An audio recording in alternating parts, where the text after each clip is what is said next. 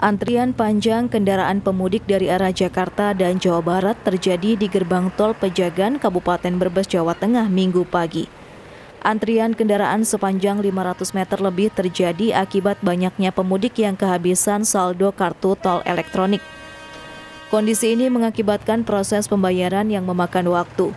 Sejumlah pemudik mengaku antrian panjang hanya terjadi di gerbang tol Pejagan. Mereka pulang kampung lebih awal agar terhindar dari kemacetan parah pada puncak arus mudik 28 April mendatang. Kendaraan yang keluar tol Pejagan adalah kendaraan yang akan menuju kota-kota di selatan Jawa Tengah dan Yogyakarta. Perjalanan bagaimana Pak? Alhamdulillah tadi saya berangkat jam setengah empat, ini sekarang nyampe masih lancar Pak. Macet nggak Pak? Belum belum Pak. Berarti cuma di Pejagan Iya ya Pak? Pejagan. Antrian, Pak, Iya. Lumayan Karena panjang tadi pintu Pak. tolnya itu langsung eh, aksesnya langsung terus. Ini lumayan panjang Pak di belakang Pak. Eh, sekitar eh, masih 500 meteran aja ini. Sebelumnya nggak pernah ya Pak ada Belum belum ini? belum. Sama keluarga nih Pak. Ya, Kenapa mudik lebih awal Pak?